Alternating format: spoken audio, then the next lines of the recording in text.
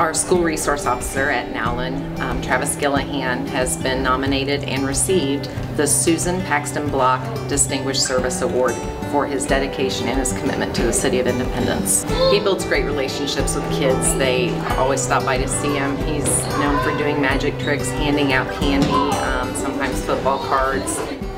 He makes me feel comfort and welcome. When I'm struggling in daily life basics, he said I can always come talk to him. He's helped me a lot and do stuff that I couldn't do. He has helped me to believe in myself. I think first and foremost he's deserving because he is always doing things that put our students and our families first. Um, he goes above and beyond for our kids day in and day out. Um, he's dedicated not only to keeping everybody in our building safe, but also making sure that those kids have what they need after they go home as well.